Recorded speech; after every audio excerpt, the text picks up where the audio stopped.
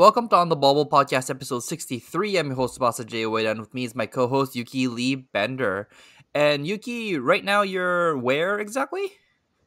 Right now I'm in Dallas. We're recording on, what is it? I guess Wednesday, March 13th. Um, so I'm here playing. I thought I was going to play the Battle Hardened, then I realized the Battle Hardened is Blitz. So, but I'll play the PTI event.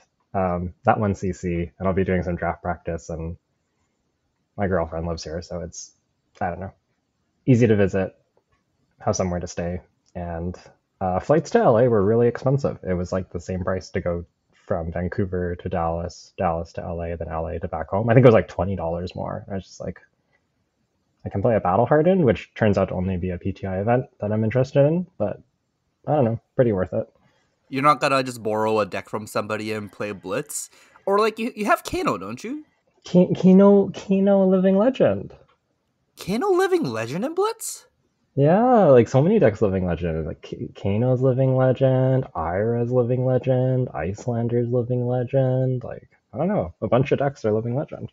You don't want to randomly just like jam KO into Blitz? I hear that like Rhinar is real good in Blitz right now, which kind of makes sense. He got a bunch of support. He was already kind of good at just like killing people, and he's probably even better at it now. I don't know if I want to go play a bunch of Blitz Rhinar mirrors that I haven't practiced at all. that's fair. That's fair. I guess uh we didn't mention our topic for today yet, but our topic for today is gonna be about mental game. So what we can do during the game, what can do what can we do to improve our mental game after the game, basically anything we can think about about the mental game that that we can talk about in one episode honestly. But before we do that did you do did you play any rtns last weekend? No. I was going to. So I, I was going to go to an rtn with jay draft rtn and it turned out that i was just like really exhausted and had some other things come up and couldn't really go. So i ended up not uh, going to that one. It was a bit of a commitment to go. It was like what, like two and a half, three hours away. So I didn't end up playing more RTNs, and I've kind of just been focused on like CC testing and resting up. I've noticed that I'm just really exhausted and very low energy because it's been so busy with the painting and moving, which is thankfully now all done.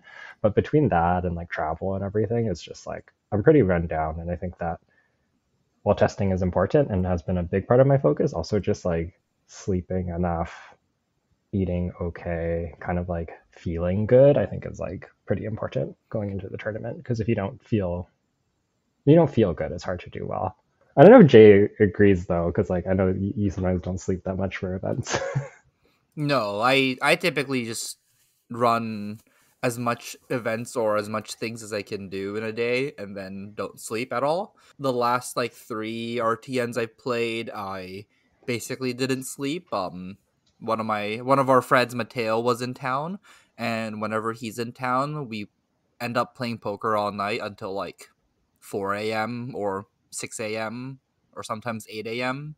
And then, you know, it becomes a Saturday, and then Saturday mornings are when RTNs are. So we just like take a one hour nap and then go straight into RTNs.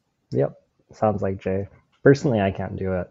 I find that like having a good sleep and feeling rested and feeling good for the event is like super super important for me doing well. But um, I don't know. Seems to work out okay for you guys. I know that. So you you did end up going and playing the RTN. Um, how'd you do? How did that go? Uh, I ended up top eighting that RTN. I lost the first round of top eight. Uh, I ended up drafting Betsy in the last draft, and the person directly to my left was also in Betsy. My my first game I basically lost with like my opponent having two cards left in their deck or something like that. So it was a very close game, Guardian versus Warrior. I kind of needed like two to three more like Guardian three blocks and should have been okay, but I didn't have that, so I ended up losing that game. My deck was kind of sick though, because like I pack one, pick one, good time chapeau, and then I had like the full warrior equipment suite with the gauntlet, the vigor girth, and the leg piece. I had two pints to make the leg piece playable, and I also had the Stonewall Impasse as my shield. So basically, like, I had kind of close to the ideal Betsy deck, but I'm just like missing two to three more cards to be able to like fatigue everyone out. so I had to try and win by damage. But the warrior player, because they have attack reactions, can block out my overpowered. So it was like not the ideal first round opponent, and then unfortunately ended up uh, decking out first. Right. Sounds like you had a pretty good deck, but you just uh, couldn't quite get there, which does happen. Like sometimes you draft a good deck, but you just you still don't win. Yeah, it's like I think like my deck was like a six out of 10, 7 out of ten. It was just like physically missing cards that are in the Guardian class. That's like put like mm-hmm. cards I can physically put into my deck. I had like thirty one playables, right? And I needed like thirty three to win that game. Mm-hmm. Yeah, it was close. It was close. I my mistake was like we were talking about like trying to be open last week and then I didn't realize that the person directly to my left was a guardian forcer. Uh, after the event, I was talking with uh with a couple of people who was in my car, and they're just like, "Oh yeah, he like played guardian round like on the first draft, and then he forced like a double Miller's grindstone guardian on the second draft." And I'm like, "Oh man, I wish I like did a little bit more like scouting so that I know that this guy was gonna force Guardian in my draft. So then maybe I could have like picked up the good time chapeau and not went to Betsy. Uh, so enough about that. Do you wanna talk about the Patreon before we start our main topic? Yeah. So still seeing new folks joining the Patreon and contributing each and every week in the Discord. Thank you so much to everybody who supports us. It really does mean a lot to us and, and really helps us make the show and, and be able to put as much as we are into it. Um, I've also been doing a bunch of extra content on there for the titanium bauble tiers, and, and that's been you know made possible by you, the patrons. So uh, we appreciate all of our listeners, but those of you who can give back, we also really do appreciate it. It means a lot to us. If you want to check out our Patreon, you can at patreon.com slash on the bauble. Ready for main topic? Yeah. Um. So actually, our main topic was actually suggested by a Patreon of ours. Uh, thank you, Seth11 or Bart. I'm not sure which name you like better on here, but uh, he says, "Hey, can we maybe do an episode about mindset, improving mindset, what to avoid to keep a good mindset?" When I'm winning, I feel good and don't make many mistakes. When I start losing, I feel like I'm the worst player in the world and get insecure and start making bad mistakes and get concentration problems. And then he says, I can't be the only one, right? And yeah, I agree with you, Seth. Like, I also go into these like really bad loopholes, not loopholes, rabbit hole. Yeah, it's a rabbit hole. Uh, rabbit hole. Of like once I make a mistake and like start making mistakes, it makes me make even more mistakes and so on and so on. So today we want to talk about like how do we improve our mental game and like what do you do for you know keeping your mental game up in even like the smaller events like RTNs or bigger events like the Pro Tour. Where do you want to start, Yuki? So let's just start by saying, like, I think a lot of this is very kind of personal. The way that your brain works is not exactly the same as the way anyone else's brain works. So we're going to give some suggestions, um, but you know, feel free to try them out, but but do what works for you. So if you try a strategy out and it's not working for you, don't do it. If something works really well for you, do that strategy. Um, it, it is very, I think it is quite personal. So we can maybe give some advice, but um, but yes, this idea of like having losses affect you and you're you know you have some like negative self-talk you feel insecure your mistakes start to spiral you don't concentrate that that's super super normal and everybody experiences this actually the good news is that um, if you're aware of it and you kind of practice dealing with it, you can I don't want to say avoid it entirely, but you can be you can get better at not getting into this mindset and and kind of avoiding this and and and making good decisions or better decisions even when you do make those mistakes. So so I think there's a lot of work to be done here, but it's also like it takes practice and it takes um, effort and it, just because you listen to this episode doesn't mean it's eventually it's going to immediately go all, all like it's not all going to go away right away it, will take some time to um, to work on. I think a lot of what this patron has kind of mentioned is what I would describe as tilt. Do you, do you agree that like most of this is kind of covered under tilt? Yeah, that's a that's I think that's the best way to describe the mental game part of of TCG. Honestly, is to how to deal with tilt.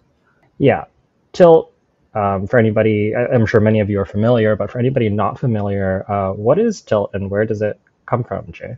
Hmm, that's actually a good question. I don't know where it comes from. I would I would assume it's a poker term because it's yeah. uh it's a TCG. Like everything derived from TCGs always stems from either Magic the Gathering or poker.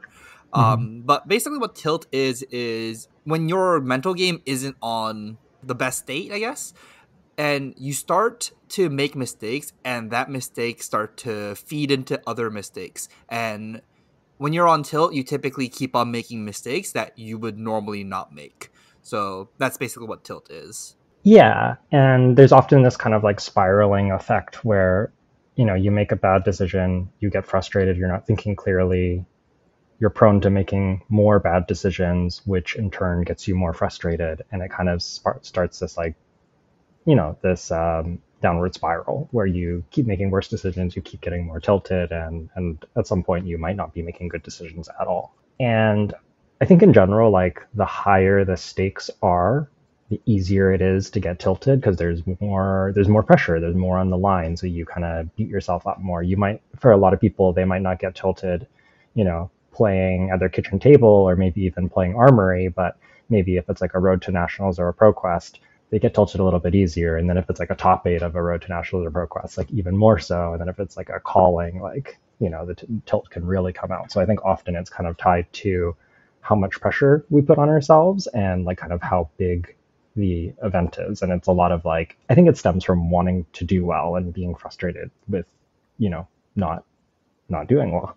Yeah, usually tilt comes from like being mad at yourself more than anything else um or like you getting unlucky is like an easy way to get tilted as well. So there are like things you can't control that can get you tilted and you just need to understand that like you, you need to understand for yourself if it's if you get tilted when you get unlucky or if you get tilted when you play bad yourself or you know like the reason why you get tilted is very important to figuring out what you can do for yourself to improve your mental game yeah, so I think we're going to talk about kind of two main things on this topic. The first one is kind of related to what Jay talks was was just talking about, and it's avoiding getting tilted in the first place because I think that often often once you get tilted, if, if you're tilted enough, it's it's kind of hard um, to deal with in the moment. We'll, we will talk about strategies for that, but I think a lot of the work you can do is in avoiding getting to that place where you're just like fully tilted. That doesn't mean you never get frustrated by your mistakes, but you can avoid for going to that really negative place where you're not able to think clearly anymore. Um, I think a good strategy, like Jay said, is what are the things that are prone to tilting you if you can identify them. That's really helpful so that you kind of know what kinds of situations might get you tilted and that way you can kind of catch it early as it's as it's starting to creep in before it's fully blown um, another thing you can do is pay attention to what does it feel like when I'm get, getting tilted. Um, I usually feel kind of like flushed, um, or like like uh, like I might feel like warm, um, or kind of like I might be like sweating, or like a little bit shaky. Um, so that you can feel like those like physical sensations come on um, when you're feeling tilted, and a lot of that is like a, a stress response uh, from your brain. The other thing I think is, for me at least, is pay attention to your self talk usually, like Jay said, a lot of this is being mad at yourself, and there might be things that you are saying to yourself. Um, in our patrons example, they kind of mentioned they feel like they're the worst player in the world. Um, and then they get insecure and start making bad mistakes. So maybe what you start start doing is go, I shouldn't have made that mistake. I'm such a bad player. How could I have done that?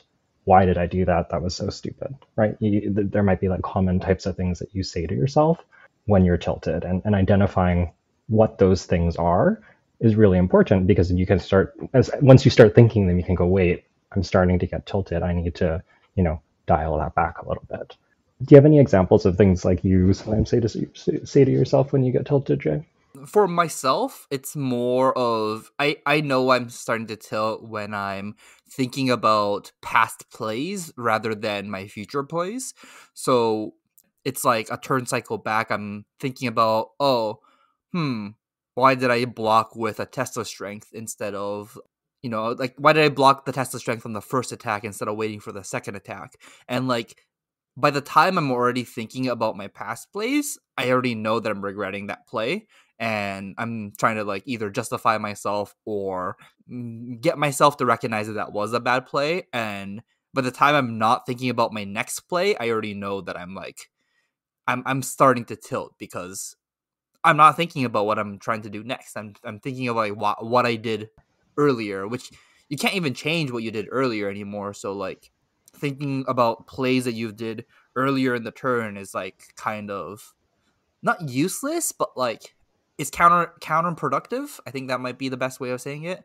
And and that's typically when I find myself that I'm like starting to tilt is like I'm thinking about past plays instead of future plays. That's that's the biggest one I think.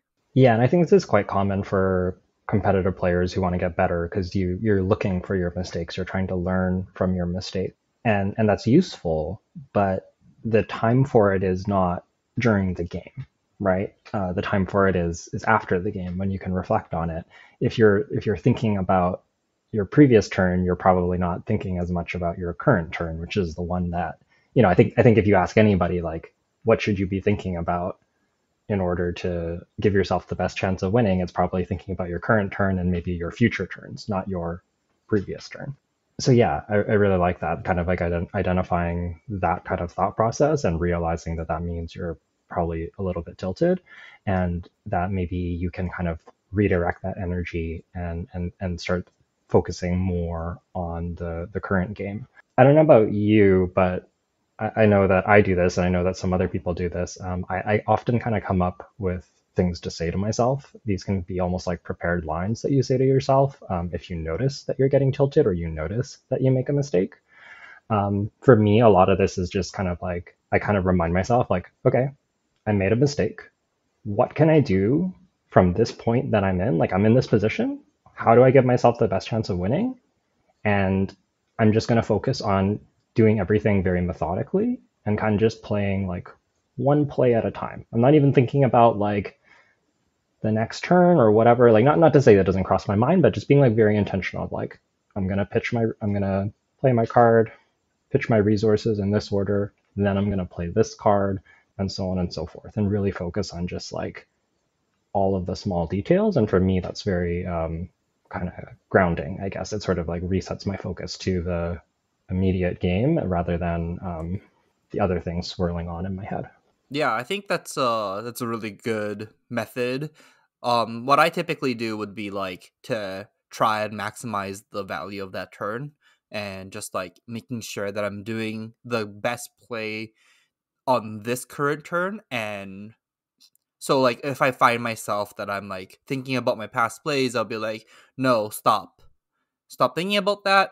What is the best play I can do right now?" And then make sure that I do the right play this turn so then the tilt doesn't start to like spiral down essentially. Because the worst thing to do is like to make a mistake the turn before and then make a mediocre play on the current turn. Then you'll start thinking about all, all the plays in the past like you know two three turns and you're like man i keep on making these mistakes the easiest way to stop yourself is to just make the best play on that current turn on the current turn that you're thinking of right now so then that can't tilt you anymore. Even if yeah. that means like taking an extra minute or two to just like think about the turn and make sure you're doing the right play. Yeah, absolutely. And if you find it's like hard to get yourself out of that like past perspective where you're thinking about your mistakes, another thing you can do is like like Jay said, take a minute, maybe take some deep breaths. Um, deep breaths do help you kind of calm down. Um, I, am not good enough with like psychology stuff, but I know that it's like uh, uh, it's like scientifically a thing that deep breaths help you calm down. Another thing you can do to ground yourself if you if you need to, if you're finding like your head's elsewhere and you can't focus, is um, you can kind of focus on something that you can hear around you, something you can see around you, and something that you can feel, and just kind of like very quickly like I'm noticing there's like this person here I'm hearing somebody say this and I don't know, just like some physical sensation. It could even just be like, you know, you touch your shirt and what is the texture of that shirt? And just like focusing on that sort of like sensations that you have in the moment is kind of taking you away from that the the mental stuff that's going on and, and then and then of course refocusing on the game which is ultimately what you want to be thinking about. But but sometimes giving yourself a bit of a reset can be um, can be like an effective grounding strategy. Do you know a thing that i find that most people don't do that i i don't know why people don't do it? Is like nobody typically stands up from their seat and like you know, just reset down. Just just like take a take a step back and then just come back to your seat. I don't know why people don't do that. Like like what I typically do is like when I really need to start to focus and like make sure my game is like right, I I would flip my chair around and then just sit sit on my chair backwards sometimes. I don't know if you've ever seen me do that before, but like that's something that I would like consciously make a decision to do is to flip my chair around and and just like sit so that I can lean into the chair. So then I like change my posture before I start making my next play. I, I have seen you done some variations of this before, and um, often something I do. Oh, I can so hear the dog. Oh no! what does he? What does he want? so another thing that I know sometimes tilts people. Um, I, I've learned mostly to not let this tilt me, but um, a common one is just randomness being frustrating. You draw all reds, or you draw a bunch of non blocks, or you play your wild ride and you have a bunch of cards in hand and your deck doesn't have many whiffs and then you miss and then your turn ends you know um, that that kind of like variance can be can be tilting and can be a source of frustration i think for me a big thing to kind of like avoid getting frustrated by variance or getting tilted by variance is just like really focusing on the things I can control. So that's my future decisions. So not previous mistakes I've made, not what cards on top of my deck, not what die I roll, but making good decisions even if the outcome is bad. Like not not focusing on the result, but focusing on I made a good decision, I got unlucky, it happens. Um, and that really helps me. For me, I just try to avoid even just playing those cards in general because like I hate just being in a spot where I have to hit on these like RNG based cards. So I just like stopped playing Wild Rides. I stopped, you know, I don't play Brute for that reason in CC. Um and I already I already know that that is like a source of uh that's gonna be a sort randomness is gonna be a source of me tilting. So I just like don't play cards or decks that have too much RNG in them um and that's that's how i prevent myself from going on tilt from those cards is just avoid them altogether. Yeah it, sometimes you can avoid playing those cards like in limited you can avoid playing those cards. You can also build your deck in ways or pick decks that are more consistent but but i think no matter what like you always have some of that variance right? So so one strategy is definitely to reduce the variance in your games through deck selection through drafting through all of that but also just um, I think focusing on the decisions that you make rather than, you know, the luck of like my opponent drew three Bloodrush Bellows. Like it happens. Sometimes people run hot. Sometimes you run hot, and and that's that's okay. So just focusing on like what you can actually control, which is often your tournament prep, your deck selection, your decision making, um, those kinds of things, rather than the things that you can control, like the variance of your draws or your opponent's draws, or um, even the outcome of the game, right? Like you you have influence over the outcome of the game, but you ultimately can't control it. And there are some games that you probably just lose because of you know maybe the way that your deck lines up into theirs. Maybe there just wasn't a way to win that game. That is that is sometimes the case. And just reminding yourself of that can sometimes help deal with potentially being tilted by that. Yep that's true. That is true. The thing that tilts me the most is typically like a bad judge call and then if you lose because of a really bad judge call oh that's that's number one tilt factor for me. Can't control that either. Yeah completely out of your control. And, and, sometimes it's hard like sometimes you know we're, we're talking about all this but i've been tilted before jay's been tilted before. It happens but um there, there's lots of things you can do to work on it. Then uh what can you do like outside of the game? Like what do you do once you're tilted yuki? Once I'm tilted, like, and so when, if you're fully tilted, it, it's like often kind of hard in that game. We kind of talked about like focusing on your next play and all of that.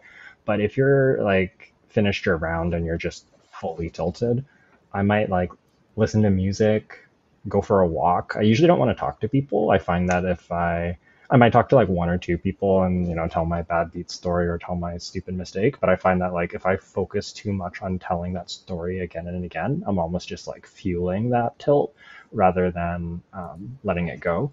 So I might I might say it to like one or two people, get it out of my system, and then just try and kind of like actually keep to myself. I, I will often like go for a walk, um, go use the restroom, drink some water, have some deep breaths, maybe have like a very small snack, that kind of a thing, and just try to shift my focus onto getting ready for my next game rather than, you know, whatever happened in the last game.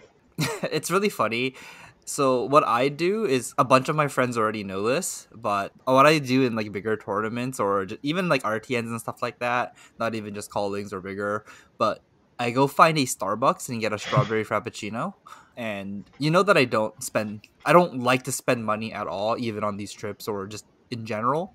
So if you see me at like a at like a calling or like a PT with like a strawberry frappuccino, uh, you know that I'm tilted. Yeah, I, I know this about Jay. I've seen the strawberry frappuccino in action, and honestly, I think something like this is a good idea. Um, it doesn't have to be specifically that, but something that you enjoy to kind of shift your focus away from it is is a good thing is helpful. You, you need to find some way to reset because that that thought process that you have of you know all the negative thinking and beating yourself up is isn't going to help you in your next game.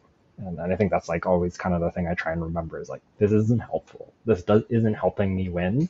I need to try and put this aside and, and find a way to focus on what's really important, which is the rest of the tournament. Maybe, maybe I threw away a game or maybe I had a really bad turn, but can I make the rest of my turns and the rest of my tournament as good as possible? Yeah, I think that's really good.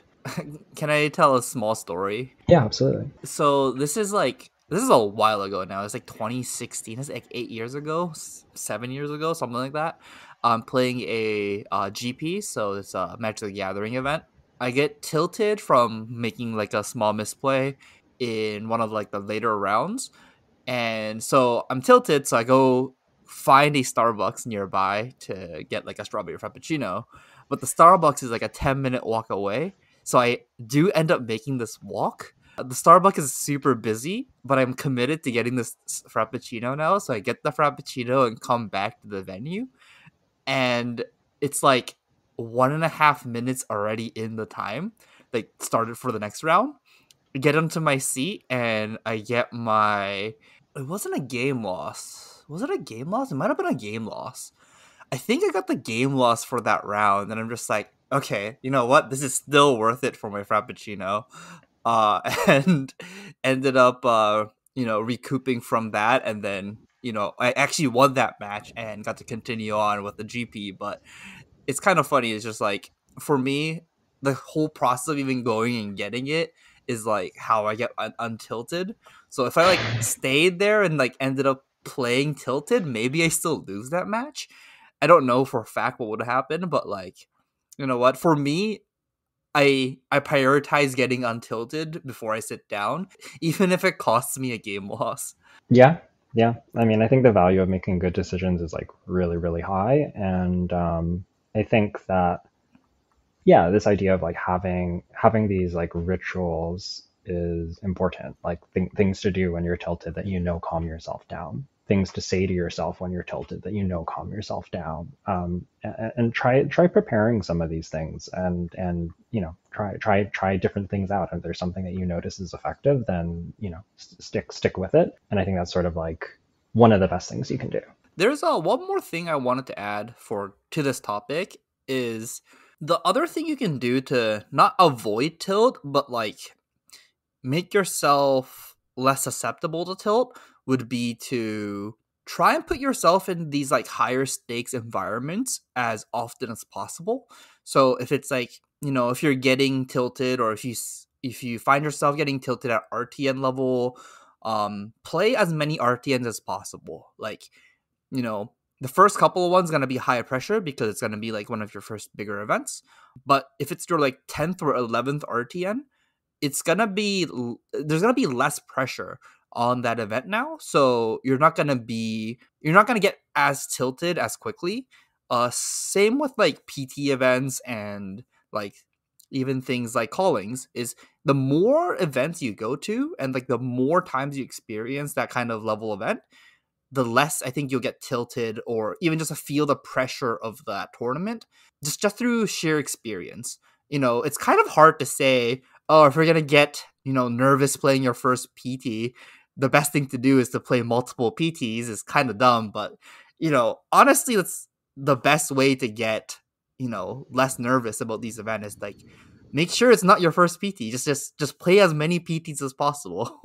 Absolutely. Yeah experience goes a long way and i i think that you're right that the more you do this the better you get at it. I'll, I'll say that generally i don't really tend to get tilted these days for the most part just from having played a bunch of events and also like sports. I played a bunch of baseball. I liked um, I, I my favorite position was was pitcher. And um, there's like a lot of similar things there where you have to like baseball is such a mental sport. Yeah so i think there's like a lot of transfer from all those different experiences that have really helped me. But um you know every once in a while it does. And, and for me the big one is like if it's when i lose like if it's like i lose my win and in or i get knocked out of top eight or something then I'll get super tilted and I just kind of let it go. But um, there's also like no more events to play after that. So like, you know, like I'll get tilted like after the match and then that, that's sort of like the one spot where I don't seem to be able to help myself. But but other than that, I, I usually manage to keep it mostly under control. My favorite times to just like, you know, talk to Yuki is when she's super tilted. And it's usually when it's like, oh, there's like no more rounds to be played there's nothing she can do except go home and then she'll be like oh why am i even here? Yeah that that that does sound like something i've said probably more than once. Yeah it's uh the one of the rtns that we played i beat yuki in top four? Yeah i ended up beating yuki in top four of one of these rtn and she got super tilted because she lost a slightly favorable matchup but slightly to variance, slightly to her own mistake, slightly to just like a lot of things not going her way, and it was uh, I I had a lot of fun tilting Yuki. yeah, yeah, you you tried real hard that game. I don't feel like I got tilted during the game, but I definitely got tilted at the end. It happens though. I yeah. guess uh, one one last thing I'll say as like a potential way to avoid tilt that works for me. I don't know if it works for everyone is um, managing your expectations a little bit.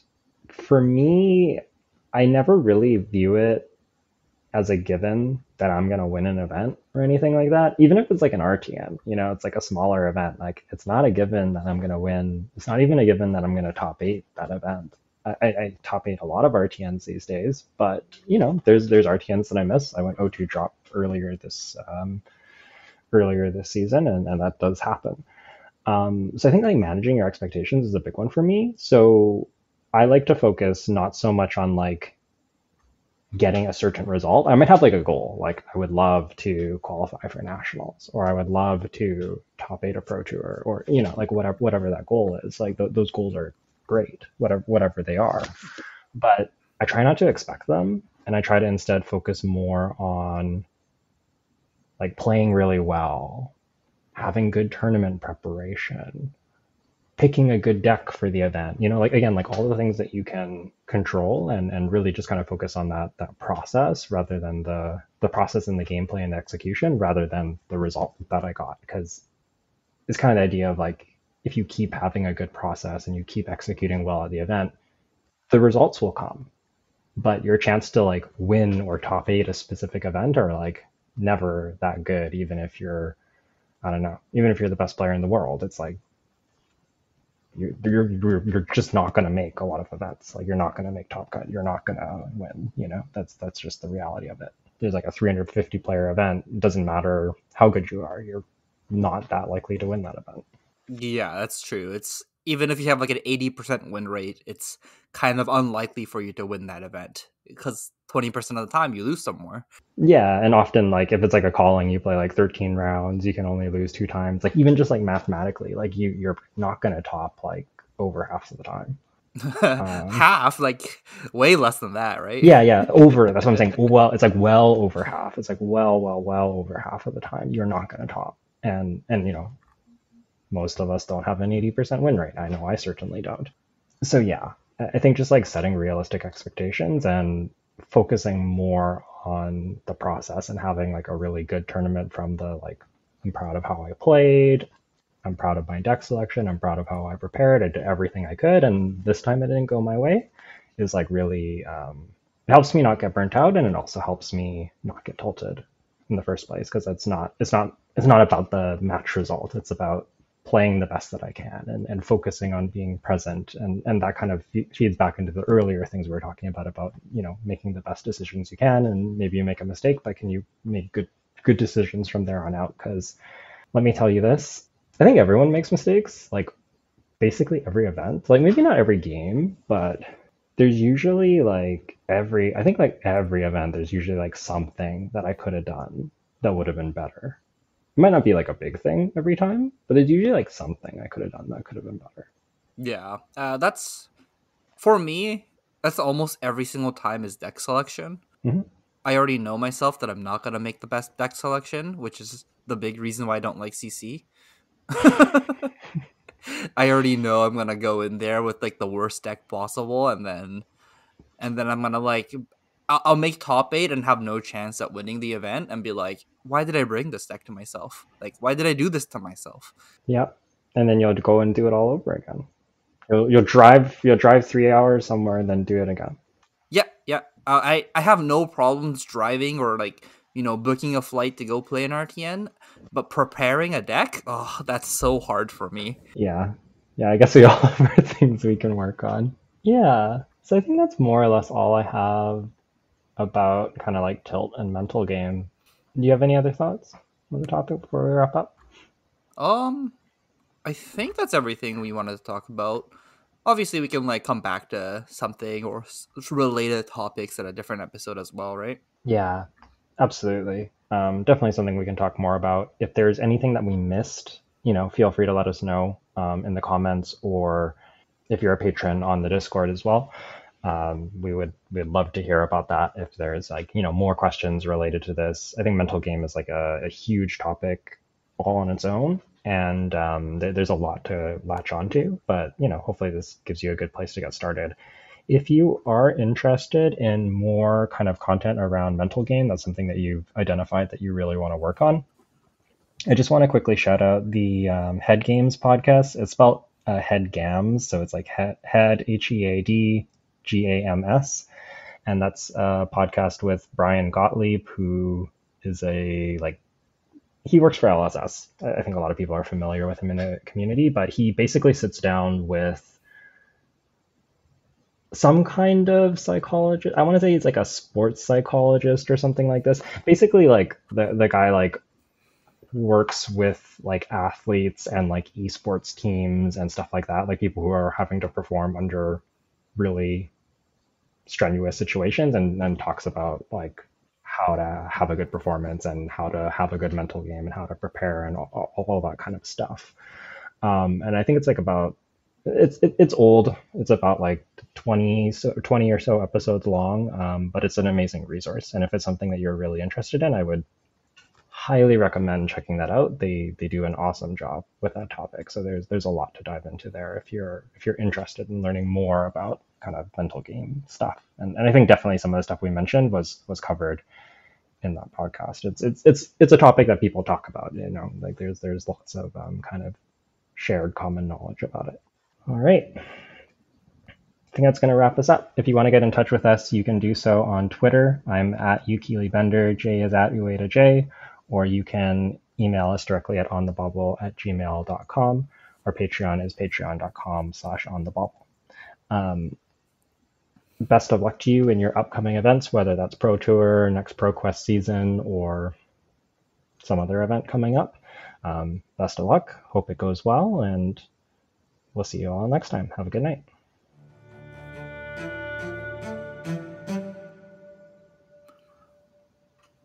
Do you have anything for our sign off today? Nope. Oh, I have yeah, this is I guess I guess the sign off is it can be completely unrelated, I guess. Um, mm-hmm. but uh, I started watching this anime um called Pon. Uh, it's supposed to be a mahjong anime, or that's what I thought it was gonna be, like a mahjong anime.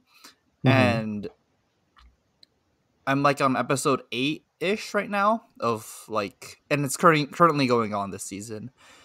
But the show has nothing to do with mahjong. I'm so surprised. Okay. Like, what is it about? It's just a slice of life.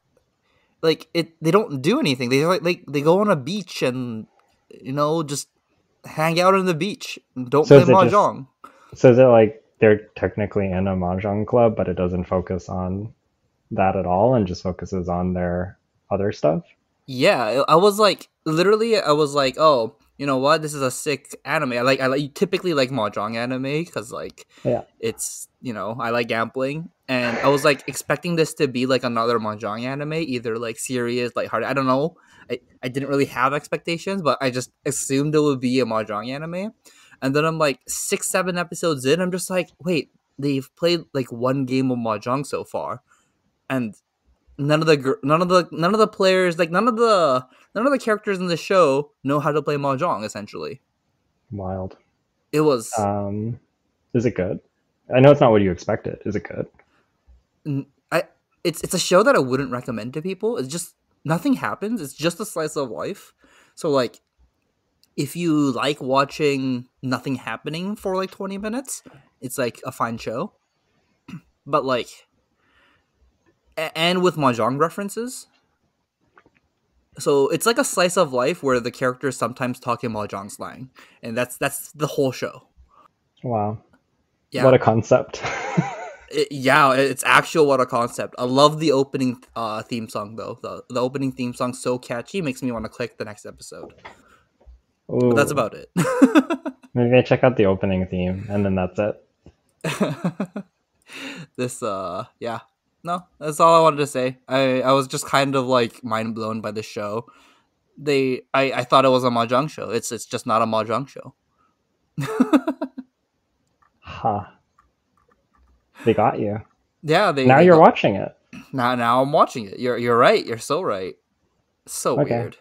Well, if you really needed a slice of life mahjong anime where they don't actually play mahjong, Jay's got you covered. yeah, I guess so. I guess so. Um, yeah, it's called Pon no Michi. It's uh, uh, would not recommend. Just just saying that. Yeah. okay, uh, that's. I think that's about it. good night, everyone. Have a good night.